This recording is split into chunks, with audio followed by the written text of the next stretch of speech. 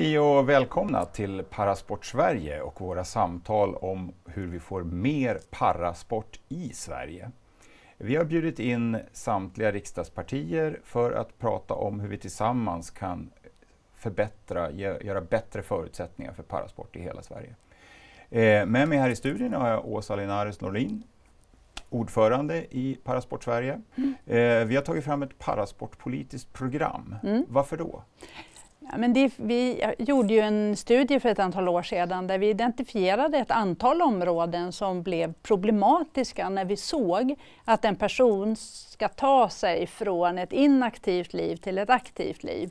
Eh, och det är flera olika stationer som, där det kan uppstå mer eller mindre svårigheter för att kunna göra hela den resan. Mm. Och utifrån det så tog vi sen fram det här parasportpolitiska programmet. Som innehåller olika delar och de tänkte vi prata om mm. och som bygger på ett samspel och ett samarbete mellan oss, resten av idrotten och politiken kan man säga. Ja, det kan man göra och också på en individuell nivå ligger ju en del av det här. Så det är både på strukturell nivå men också på individuell nivå. Mm. Eh, och en del av det här har vi eh, enbart ansvar för inom idrotten och andra delar har eh, samhället i stort, det statliga kanske i första hand och kommun kommuner ansvar för. Och en del är tydliga att här behöver vi hitta en mötesplats mm. där vi kan göra en tydlig överlämning så att vi kan få det här att fungera. Och eh, apropå det, överlämning och mötesplats, så vi är jätteglada att vi har med oss eh, Per Lodenius, eh, idrottspolitisk talesperson för Centerpartiet. Välkommen Per! Tack så mycket!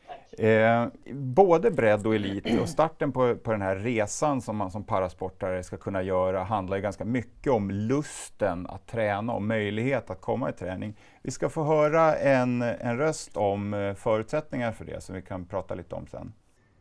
Hej, Agneta Rothammar heter jag. Jag bor i Tyresö, lite utanför Stockholm. 2012 så blev jag dålig och trodde att jag aldrig mer skulle få åka längdskidor. Men på Start Impossible Camp i Östersund i januari 2019 så fick jag äntligen komma ut på snön igen. Jag fick åka sitski på längden. Det var magiskt härligt, en underbar känsla.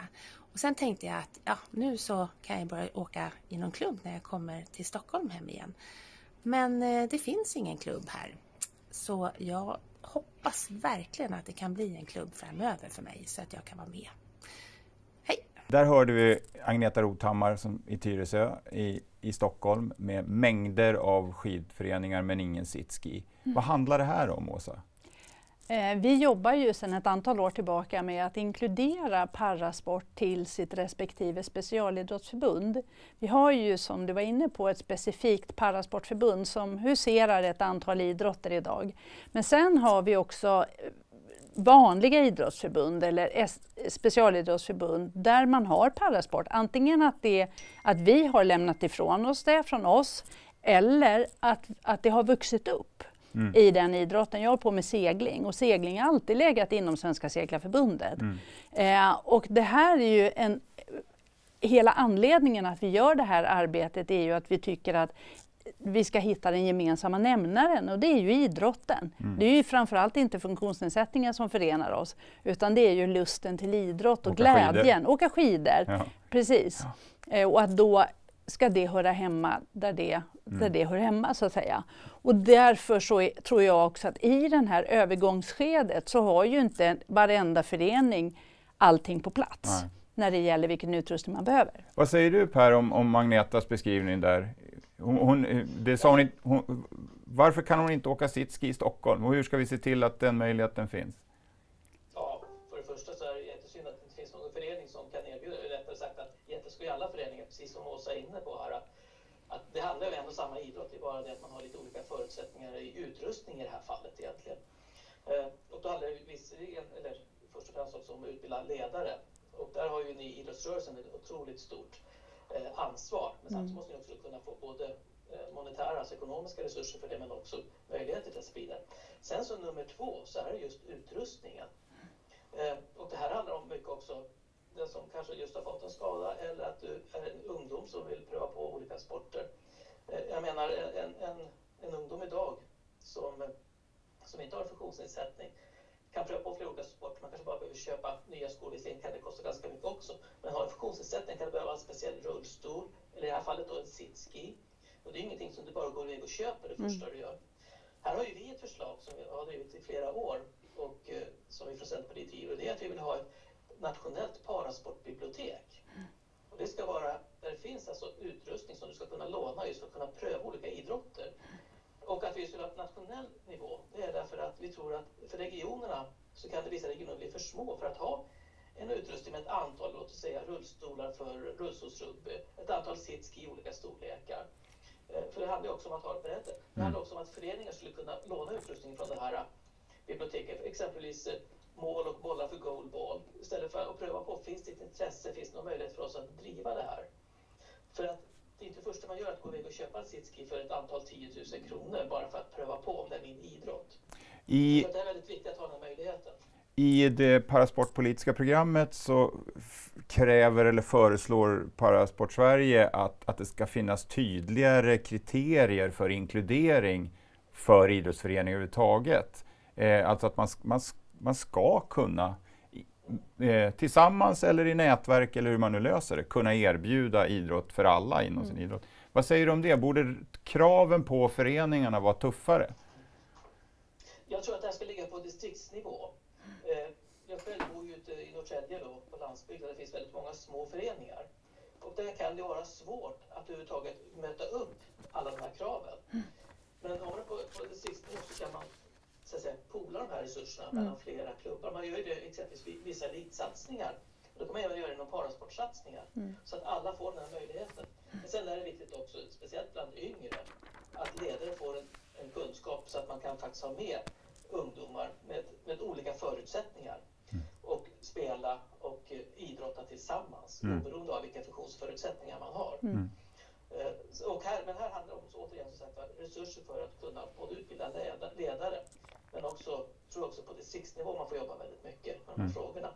Men sen är det återigen tillgång till utrustning och det ska kunna vara billigt, bra, ja, egentligen inte kosta någonting för att kunna pröva på idrotter. Mm. Sen är det när man gör en större satsning självklart så, så precis som med alla, alla andra som idrott så kanske man behöver lägga egna resurser på utrustning. Men för att kunna överhuvudtaget pröva. Mm. Jag tittar på min egen son som nu är 25 år, men han prövade tror jag, minst 5-6 olika idrotter innan han fastnade för vad han ville hålla på med. Mm. Och så måste ju alla kunna ha den förutsättningen. Mm. Men måste du skaffa dyr utrustning för varje, varje försök, varje prov ska göra, men det är klart att då kanske det faller redan på första häcken om man säger så. Mm.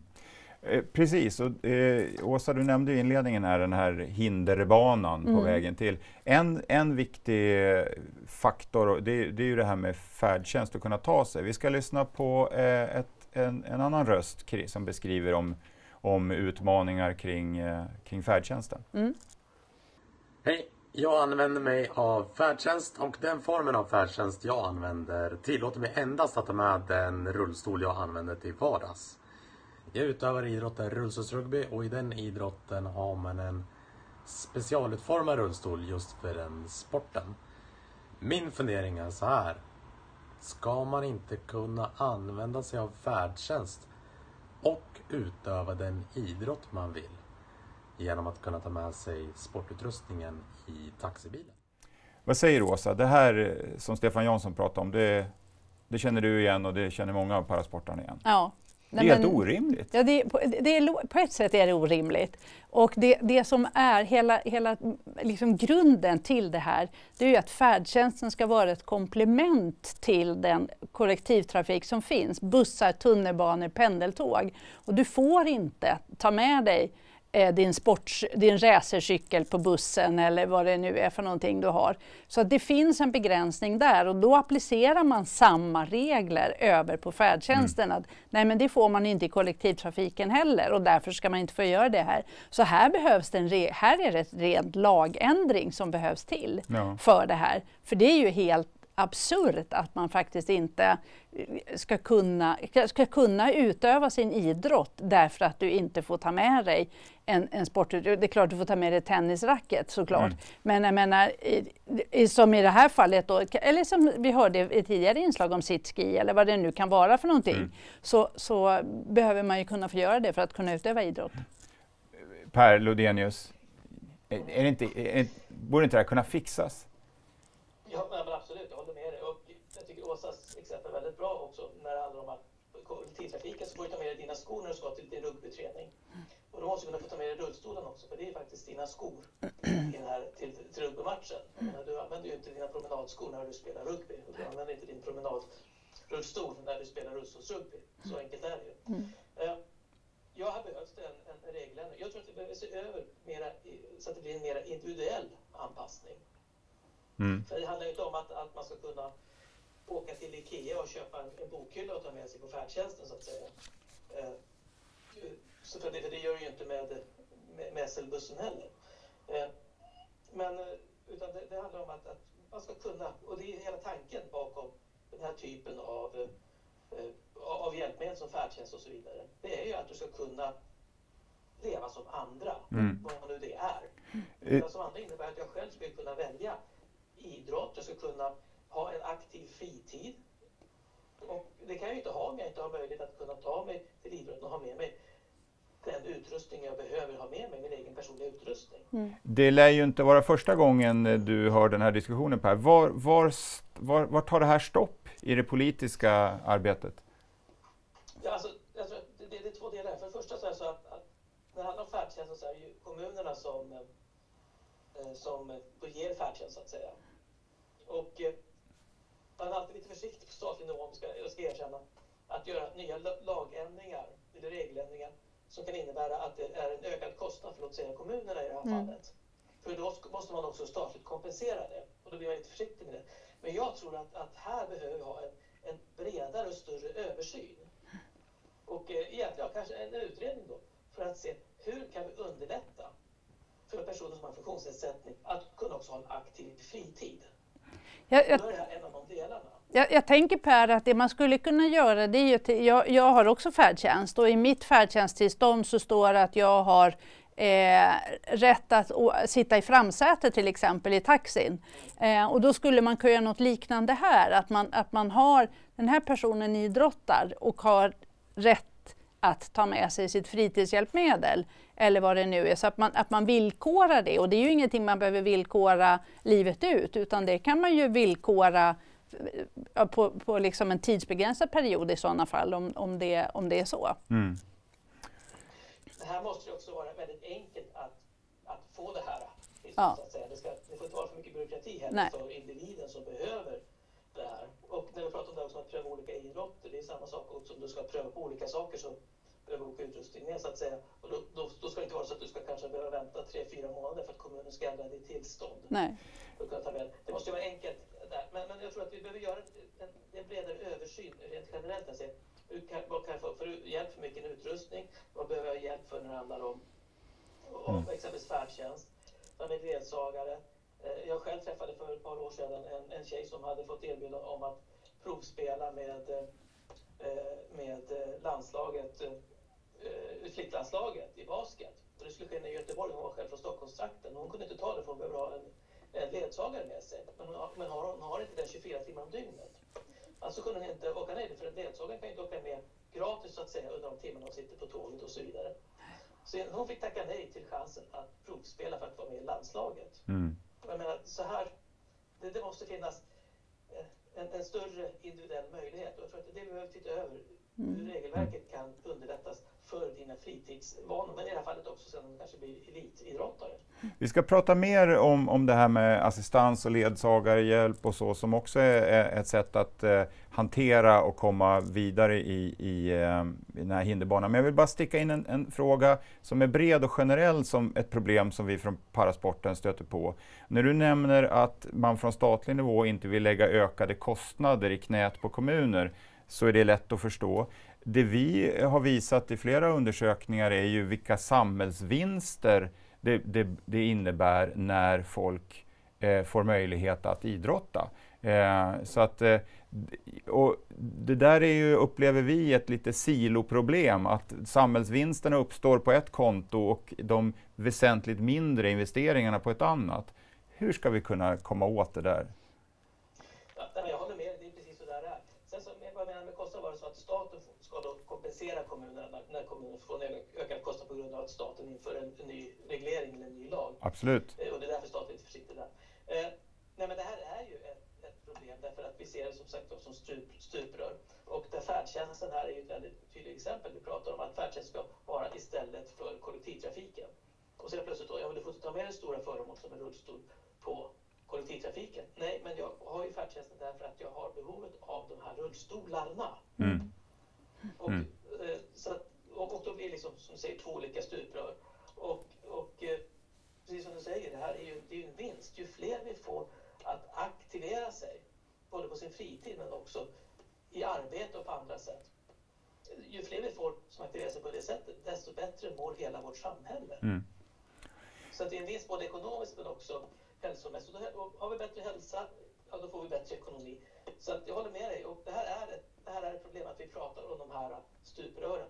Där försöker bland annat jag att, att sitta mera parallellt och titta på de här sakerna. Vi pratar väldigt mycket parallellt. Så det här är både en socialförsäkringsfråga, det är en fråga för socialutskottet, det är också en fråga för utbildningsutskottet och det är en fråga för mig i kulturutskottet. Mm.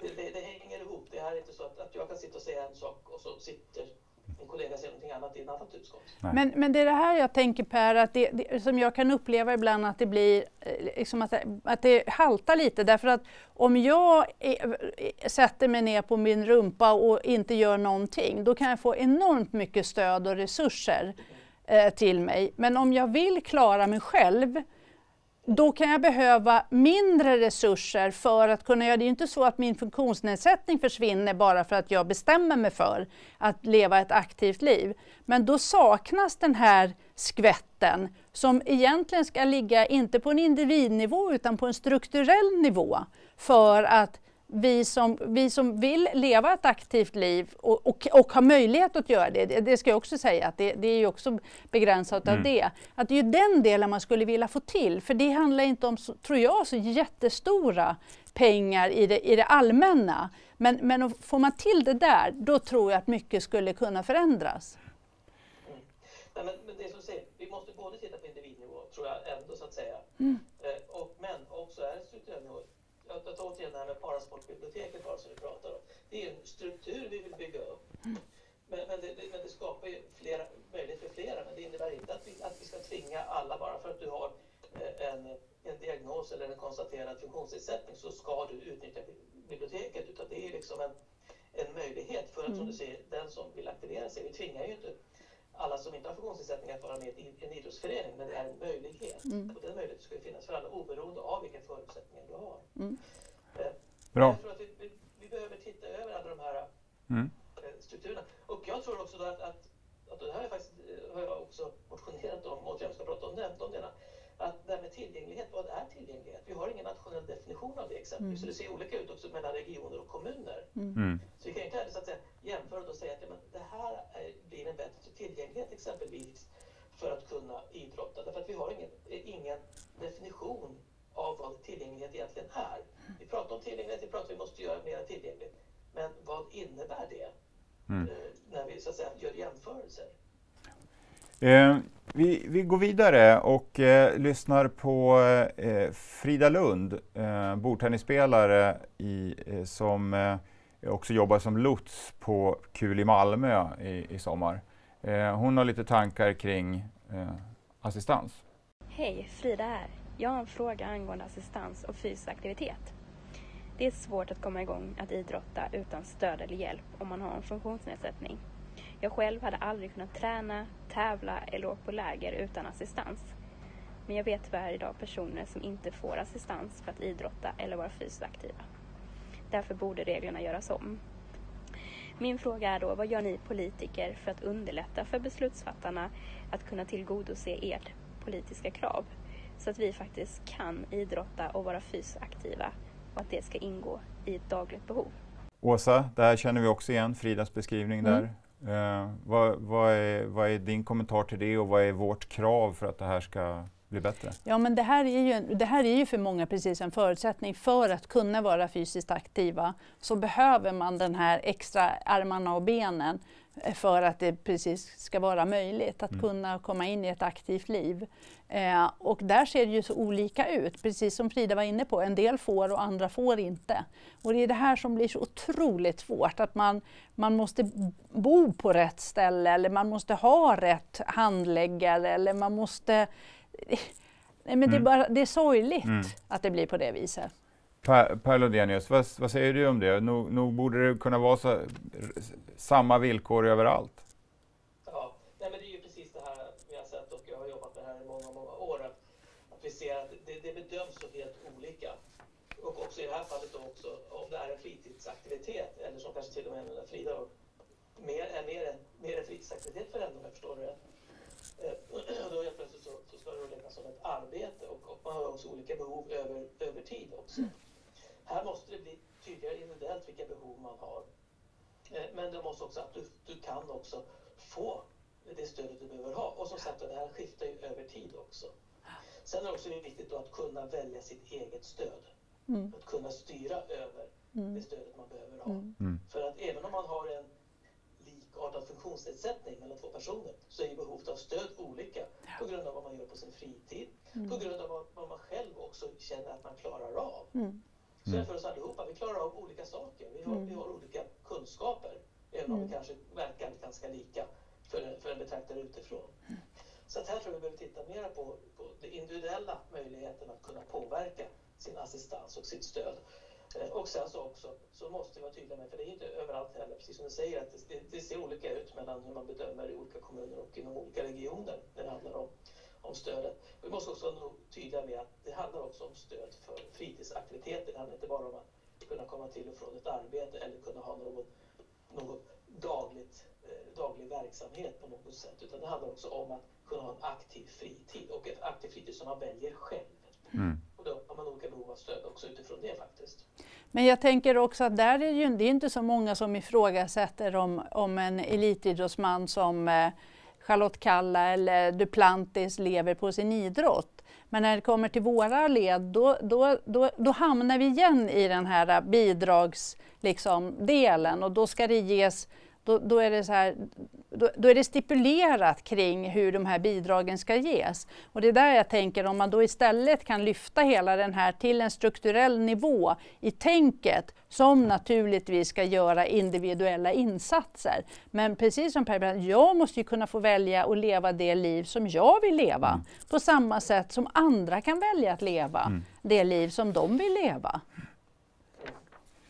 Ja, nej, men det handlar inte om att alla kommer bli elitidrottare och alla kanske inte vill spela pingis. Nej. Men, men det handlar om att, att, att jag ska kunna ha den möjligheten att om jag har den eh, både den viljan och den kanske talangen så måste jag kunna satsa på det precis som, som den som inte sitter i rullstol och spelar Ja. pingis. Ja. Och då, men- då behöver jag förutsättningar. Sen så absolut så är det så att, att, att även om jag inte har funktionsnedsättning så kanske jag inte har förutsättningar för att bli pingisstjärna därför att jag kanske inte har föräldrar som kan skjutsa eller det finns ingen bra pingisklubb i närheten. Men, men, men det är andra strukturella. Eller så, kanske, är bara- eller så kanske du inte kan spela pingis. Nej, precis. precis. Men det behöver inte vara min förutsättning. Som sagt. Nej. Då kan det vara någonting annat jag ska satsa på. Men det, får inte vara mina egna personliga funktionsnedsättningar som Nej. gör att, att jag inte har en möjlighet att ens få försöka. En, eh, en viktig... Då, Åsa, tackar vi Per Lodenius, eh, Centerpartiet, så mycket för det här samtalet om eh, hur vi får mer parasport i Sverige. Eller hur? Något sista ord? Nej men jättebra samtal och det, ja, vi, har en, vi har en vän i, i Per i det här arbetet och det känns eh, väldigt tryggt att ha någon som hjälper till att driva de här frågorna för det, det behövs. Tack så mycket. Tack!